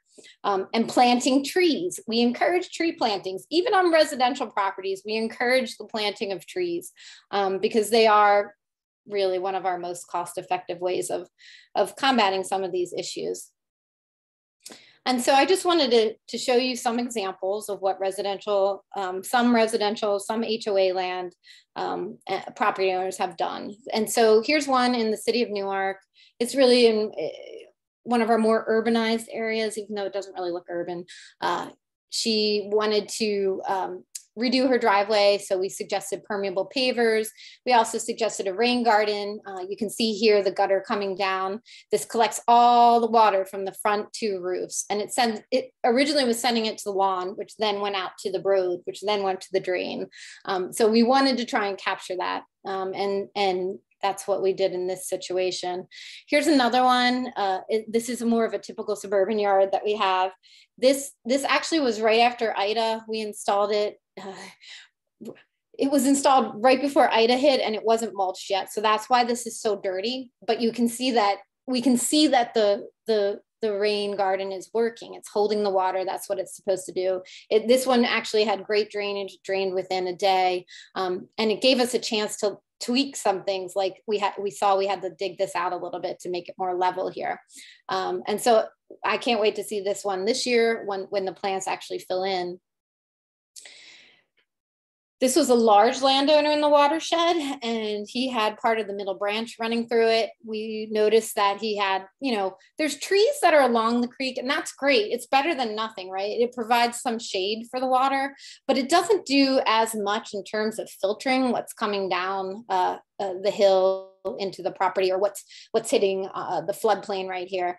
And so we always encourage 100 foot buffers if you can do it. Uh, and in this case, we were able to do that, and this property owner agreed to it. Um, he had me out for a regular catch the rain visit, and this is the project that came out of it. Here's another one. I showed a picture of this one earlier. This was at an HOA where I went out to someone's house. They had already gardened every inch of it. There wasn't much to do on his property, but he happened to be a member of the HOA board. So I asked him if he had open space we walked and we found a, a, planting opportunity and he was able to get his homeowners association board um, to agree to it. Um, so that was another practice that came out of this program. And then we, we did some demonstration gardens. So this was working, I said we do municipal education. So this was a chance to educate uh, a municipality that's, uh, it's West Grove Borough. So it's more one of our more urbanized or built out boroughs, even though it's a small part of the watershed. And the manager there was willing to put a rain garden in here. So this is the municipal building. It also doubles as the library. Um, it's a great spot for foot traffic. And so we dug this all the grass out and basically the gutters from this roof it was like 1300 square feet go to this spot here it is six weeks after it was planted. We had one of those major storm events. Um, I was extremely concerned about it, but the garden held up and you can see it looks like a little mini lake here. This is three months later. Um, the plants are really filling in and this is a year later. And now we have a sign up. So it greets people and it tells people, you know, what the purpose of the rain garden is, why it's there, brings them through the photos of uh, how it was installed and what it looked like during different events. So that one worked out well. We decided to put another demonstration garden in at a park where it's taking uh, some stormwater from from the parking lot here. Um, this one went in in October of last year. And again, we got another big rain event right after we planted it. Um, so you can see this is what a rain garden does. It holds the water. See how it's level? It holds it. Eventually, if it's going to overflow, it'll overflow uh, across this little berm here. Um, but it held that water. This is 24 hours later. You see a little bit of water in there. This is 48 hours. It's completely drained. Um, so again, looking forward to seeing this one this year as well so I'm going to end like my part of the, the conversation by showing you an activity that I use to kind of illustrate the benefits of these nature-based practices, um, especially when you're talking about climate change and a, wetter climate, which is what we will be experiencing here. So, so basically we take, um, and I know that Tara has some of this in the Wakelet. I think some of this is in the Wakelet or, or somewhere she's gonna be sharing information with you, but these are paint trays, um, right? Where you put your paint roller and, and whatnot, and the paint sits at the bottom here. And basically what we did is we turn them into to neighborhoods um, with a lot of impervious surface, either parking lot or roads and buildings. And then each one of these bins has sponges in it that represent a different practice, um, like either a rain garden or a rain barrel, um, and or tree plantings and things like that. And what we do is we ask um, people, it could be kids or it could be um, adults at a at a uh, another like catch the rain workshop or uh, municipal officials that we're trying to uh, you know educate about what green stormwater infrastructure is. And basically we ask them to put things around one of the one of the lids and then we take the same amount of water and we pour it on each right? And we use a strainer so that it's like it's raining. And we ask them to look at how much water makes it to the creek which is this area here. And you can see it's visible to the eye. You can measure it, but sometimes that's hard to do when you're at a community event. But you can see all the water winds up in the river here, right? Whereas here, sometimes none of it, depending how much they put on the tray, makes it there. But you can see an obvious decrease in the water that runs off. And it really makes that connection um, to people. And it's really fun to see that light bulb go off, go off that okay, this is what a rain garden does. This is what a tree does. This is this is what what happens when you start, you know, living more equitably with nature um, instead of just banishing it to to the outskirts right you bring it in it helps with infiltration it helps to soak up the rain um, and it has a myriad of other benefits as well so so i wanted to end end on that and give credit to Carnegie Mellon because they developed this idea and we just kind of took it and um, adapted it to our program. So this picture here was more for a city environment, you know, where you might want green roof and urban forest um, and more grassy spaces. But for us, we use it for rain gardens, um, uh, rain barrels, tree plantings, and conservation landscaping are the four main practices that I that I try to promote through the program. And so that is all that I have. Uh, if you have questions about anything or want to reach out to me, this is how you can reach me. And I think that's also in the Wakelet. Um, so please feel free. And I'm going to stop sharing. Does anyone have any questions? I went really fast. Yeah, that was very interesting, Shane. Really, really cool. There's a lot in the chat just talking about, like from Tim too, about just reliving some of these um, instances. They're just such extreme weather events that are so incredible to witness, especially through the pictures. We've done, and when Shane says we've done this, she's really the one that's been done, done it, you know, with volunteers, but she has been like heading all of this. So she's a one woman show. Amazing, amazing. So thank you. Anyone have a question for Shane? Go ahead and unmute yourself. Yeah. Yeah, this is Ingrid. I had one quick question. Where do you source of, uh, most of your plants that you're using? So the trees, we, we, we try and source most of it locally. The trees usually come from Octoraro Nursery, um, which is out near Oxford. If, if you're familiar with this area, it's down Route 1, like towards Maryland. Um, and the plants I get from North Creek, which is right here in Landenberg. They grow them here. You have to pick them up in Oxford, but um, they're fabulous. Um, so there's other ones too, like Prairie Moon. Um, we use Ernst for seed. Like sometimes, so that rep, the basin retrofit I showed you was a native plant planting from North Creek plugs, but we also seeded over it um, just because there's such area to cover um, with with native seeds as well.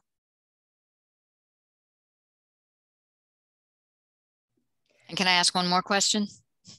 Absolutely. So, so on the um, our water system at, at their main building, they did like a, a rain demonstration rain garden. But uh, do you have like some agreements, or you give them instructions on how to take care of it once it's planted?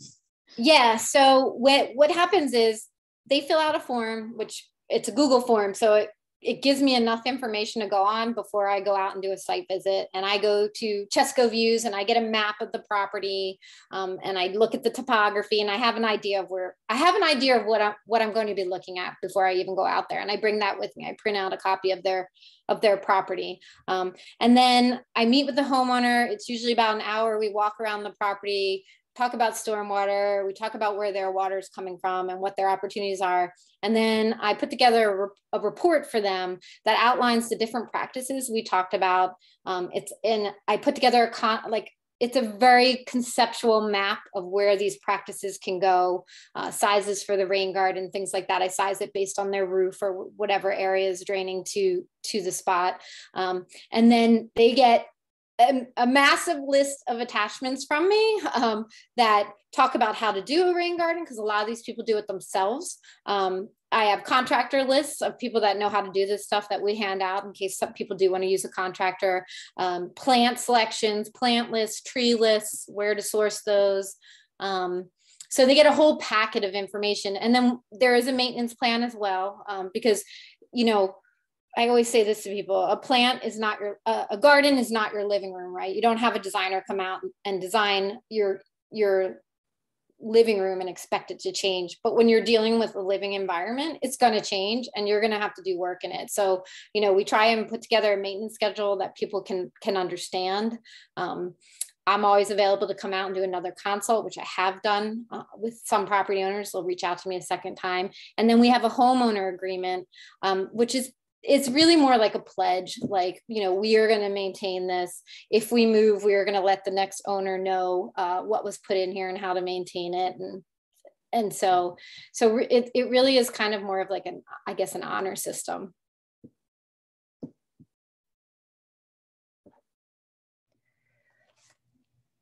I was curious. Um, I do a big unit with my students about stormwater management, and I have them do kind of small scale what you did. Like they do their backyard and they have to walk around and find areas. But at some point, I wanted to, them to do an actual planning of a rain garden or something at our school. Do you visit schools and like, would you, or do you just, would you share? Because I'm up in Pennsylvania though, so like in Downingtown. So I do, but I have to work in with. So our funding is specifically for White Clay Watershed. Mm-hmm. Um, so that is actually one of the first questions I ask on my Google form. Do you live mm-hmm. in the White Clay Watershed? And lots of times people say yes, but then I ask for their address and you can map it out and see. Mm-hmm. And I always feel bad when people don't fall into the watershed because I, I, you know, I'm willing to share resources, but I can't go out and do a site visit unless it's or or provide a monetary uh, incentive unless it's within the boundaries of the watershed. But I can recommend Brandywine Red Clay Alliance if you're in Downingtown. Yeah. Okay. Yeah, I would reach out to them. All right. Thank you. Mm-hmm. And Linda, I'm a, I'm in Downingtown, and we have a native plant group called Restore Our Roots, which um, we started a couple of years ago. I'll put that in there, and we have a planting around Earth Day weekend after that, Saturday after. So I'll um, pop that in the chat right now, just um, and it made me think, Shane, more about we're gonna we're thinking about doing the um, wildlife community habitat certification. So um, you know, we would love to talk with you more. Actually, our native plant group about all of this um, being in the Brandywine up there. So Absolutely. And, and then one more thing for, for you, Linda. I do think that Brandywine Red Clay would be interested in your project specifically because it's a school project. So if you reach out to them, I would reach out to Brian Winslow um, and let him know what you're interested in because because they might take an interest in that. I know they like to do some of those types of projects. They don't have a program like Catch the Rain, but they do do these types of, of, of projects on, on more institutional properties, I would say. Thank you. Mm-hmm. I said, so do I have time to answer one more question, Tara? Because I see one in the chat. Yeah, and there was one about your background, Shane. Is that the one you're going to answer? Yes. Yeah. So so I went to Penn State and I got a, degree in environmental resource management, which is really, you know, it's kind of what I do now. Um, but it took me a while to get to this point. Um, I also uh, have an ecology background from Drexel University. Um, I thought I was going to go that more academic route, um, but then I decided that wasn't for me. So I started a landscape design business um, uh, called the Giving Garden. It was ecological landscape design. I probably did it for about 15 years. Um, and basically, it's similar to Catch the Rain.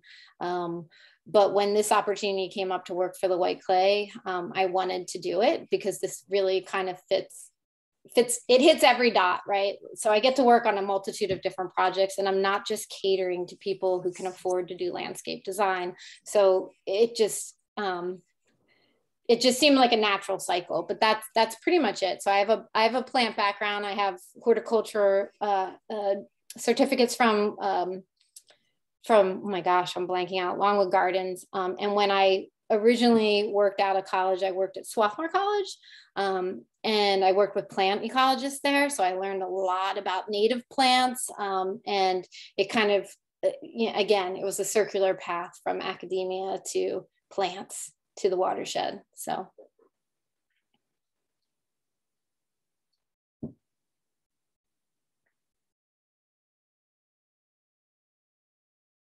See if there's any more in the chat to discuss. Yeah, Timmy's sure yeah. there's a so. Follow up on small and large projects. I'm I'm seeing that one. Like, um, I do follow up. So before they get a rebate, they have to pay for it and do it, and then they have to have me out to do a final inspection. So I do do that. Um, it depends on what the project is. If it's a rain garden, I definitely like to go out and follow up because I think they need the most um, support people who put the rain gardens in. If it's a tree planting, that's pretty easy. I don't always follow up on that. Um, it depends. Uh, most of the time, people who do projects will follow up with me and ask a question or ask me to come out again. Um, and, uh, you know, usually if I can fit it in, I'll do it. But you're right, it is a lot of time. Um, so I don't advertise the program uh, widely. It's all word of mouth. In the beginning, we did some advertising. Every once in a while, someone does an article and then I get like an uptick in applicants, but that's kind of how we've been managing the program for now.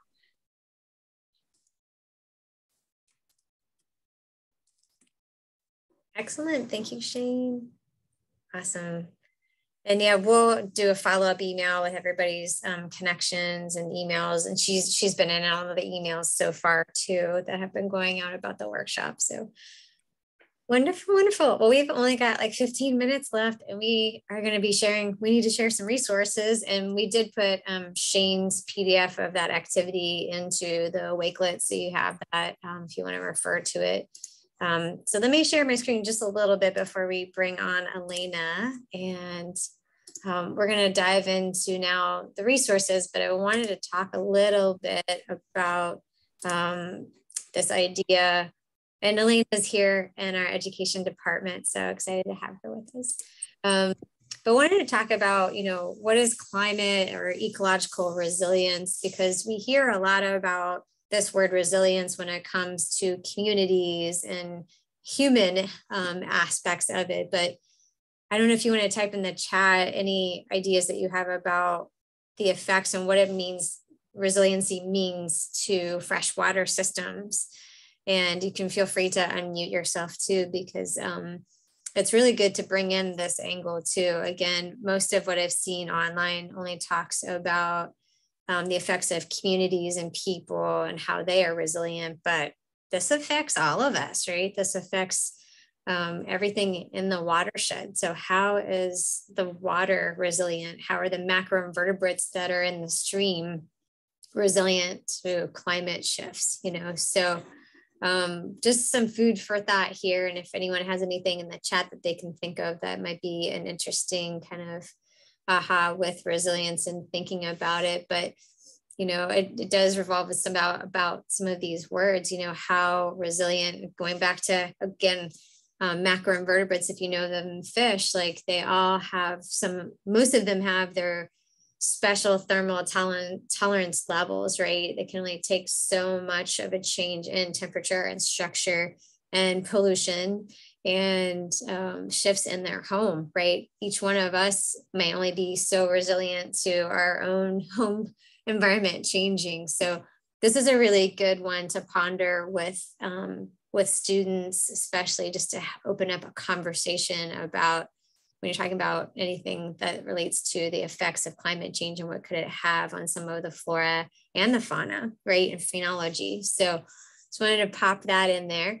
and speaking of climate resilience, um, Elena, I guess I'll just drive this slide since we're here. Elena is going to start presenting on a bunch of resources that we have vetted and put in the wakelet. She's going to give you some like highlights of what's so good about each one of these. So Elena, feel free to take it from here. Hi, um, pulling that up on my screen as well. Um, and so one of the first resources we see on the Wakelet is Project WET's uh, teacher training, as well as uh, inside those links, you can find educator guides, downloadable activity booklets. Um, and these products are available for anywhere from like ages pre-K all the way up through 12. Uh, you'll see some of the following resources are focused just on high schoolers, just on middle schoolers. Uh, what's really unique about Project WET is they also have WET Connect. So it's available one year program for educator training.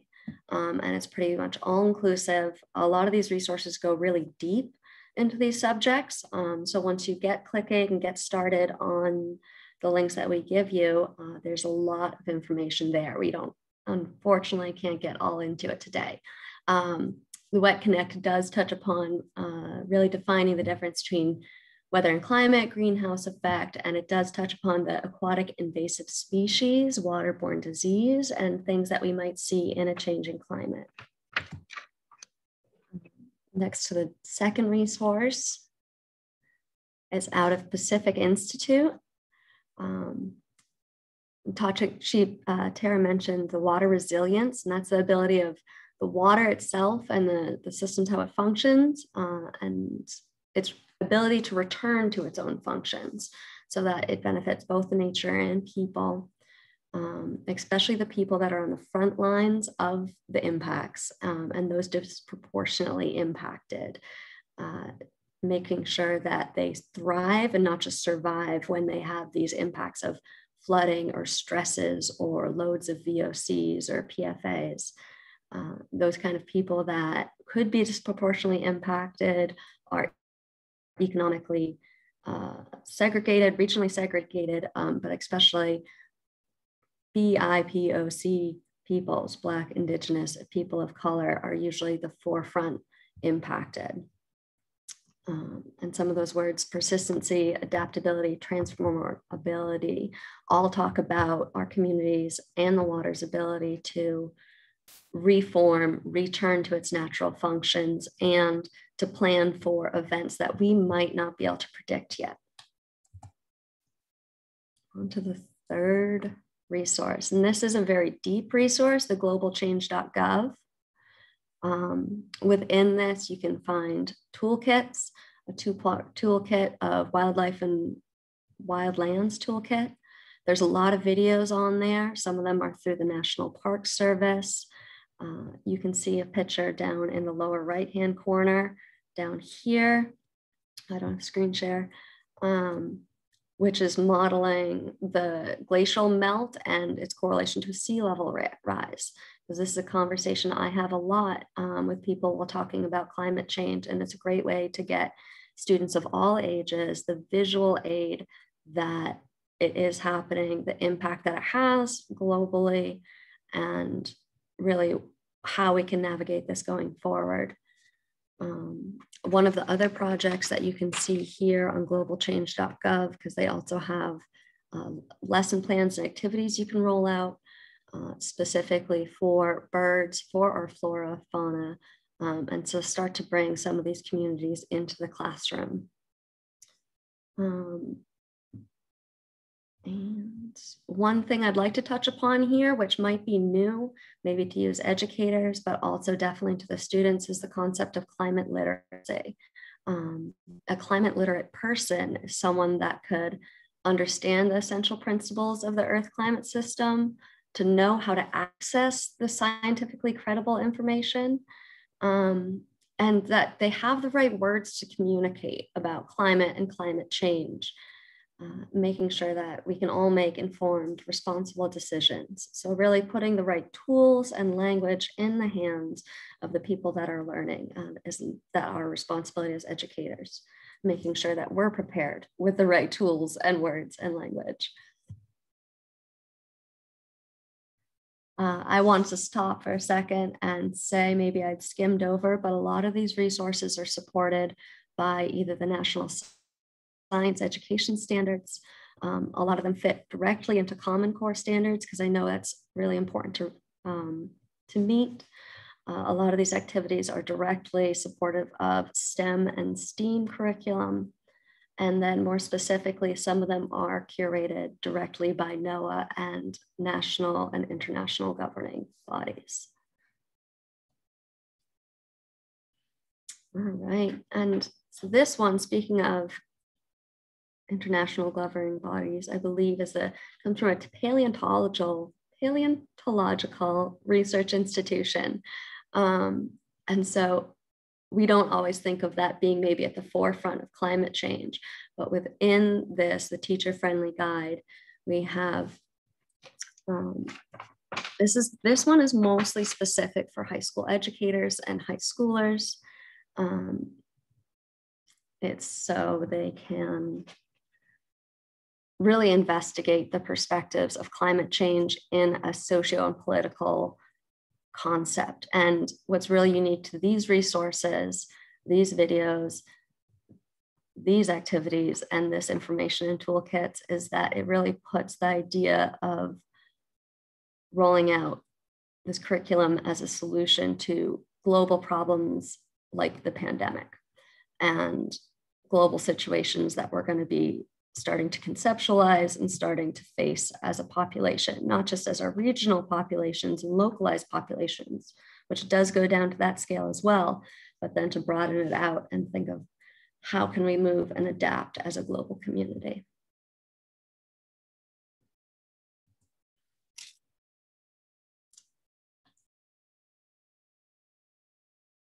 Again, this one ties in. This is a book. Um, it's mostly a book of case studies, which is really fantastic.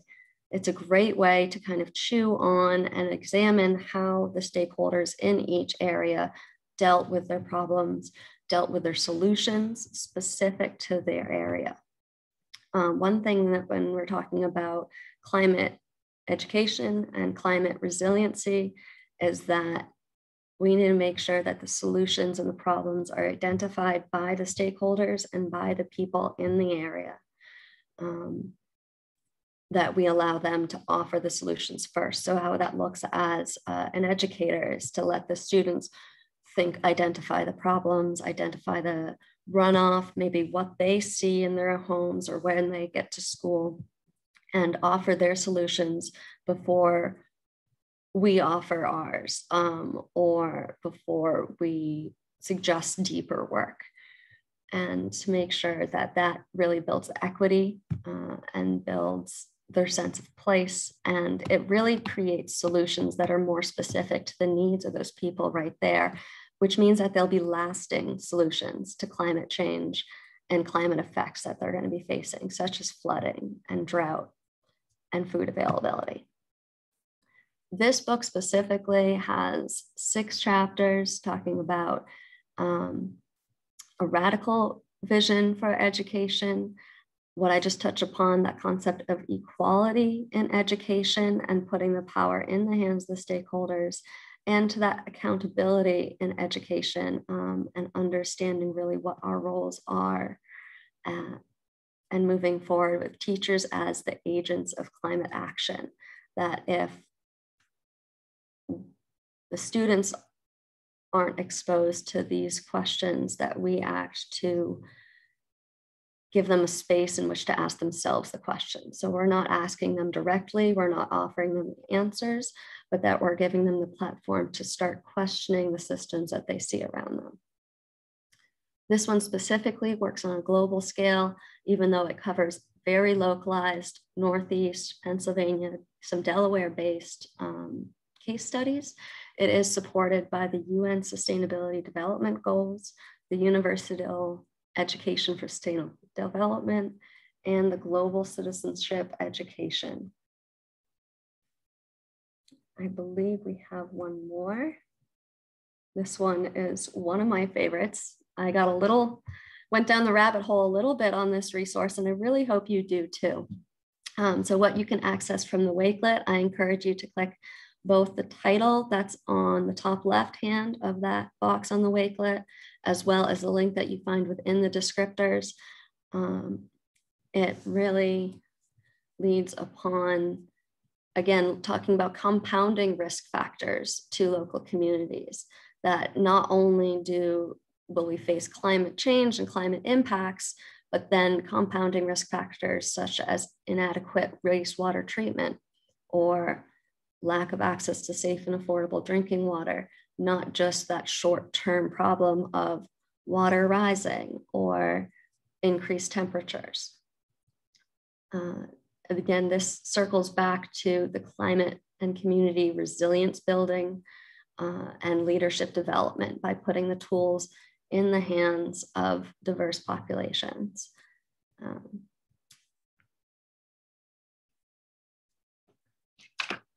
and the last bit I'd like to touch upon here, you can see on the logos here specifically, uh, as you get in there, and it's a very deep website, there are some great videos included. Um, As you can see on the logos, uh, there's a great flow chart available. So for every subject of water resilience, toolkits, activities, the one that's focused on the community resilience and climate resilience specifically is the one I added an arrow to right here.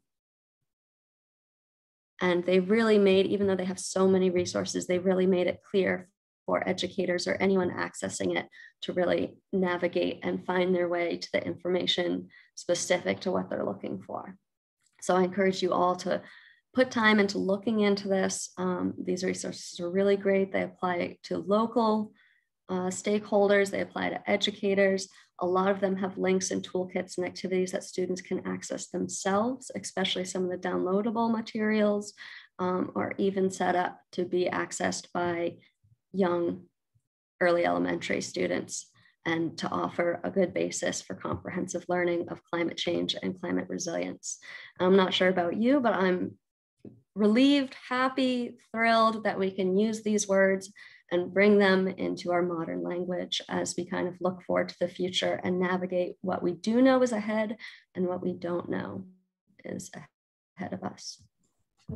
Thanks so much, Elena. Yeah, that's so true. Um, and thanks everybody for sticking on. And there's so many resources that we just love to share. There's not enough time. So I'm just, if you can stay on for just a few more seconds, we've got a few more slides to share. We were going to do an activity, but just ran out of time. but please check out our upcoming events with White Clay if you want to engage with this beautiful watershed that we spoke about tonight. Um, there's a White Clay Creek Festival that happens every year, and it actually will be outdoors and in person this year on Saturday, May 7th. You can check out their website, which will be popping up the information um, probably in the next few weeks. And we, Stroud, have a couple of canoe trips. Um, one actually in White Clay Creek on May 14th, a Saturday, and that's free. And we also have another one if you're, it's kind of nearby on the Octoraro um, Reservoir. And so that one's also free and you'll get, you can get Act 48 from those, but please check out our events page if you would like. Um, and upcoming here at Stroud Center, we're celebrating World Water Day, March 24th, a couple days later than the official International Day, and um, unveiling our new watershed education mobile lab. So if any of you are educators nearby that would like for us to come to visit to do programs with or for you um, and your students, please reach out to me. Um, we can come with the mobile lab and also you can come visit us if you want for an education program, but details are on our website about that event as well. Um, so I'm going to have to skip that. um, if you can, please go back to that Wakelet. There's a follow up survey. I hope the link works. If someone can check that out, that'd be great.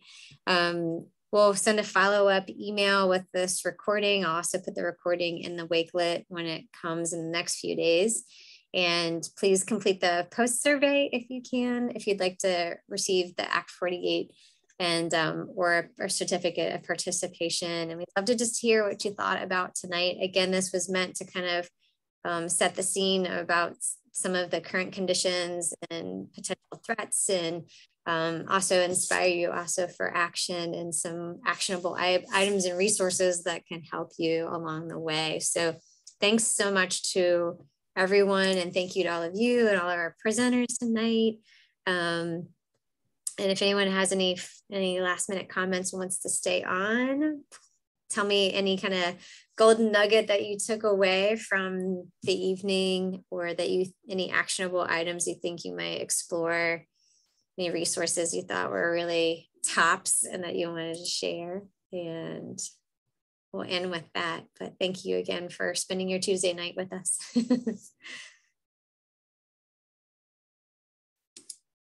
yeah thanks elena for sharing that great Great, for listening, tuning in. Yeah, yeah. All right. Well, be wild, be free. Have a great night, everyone. We'll see you in the next round. Good night.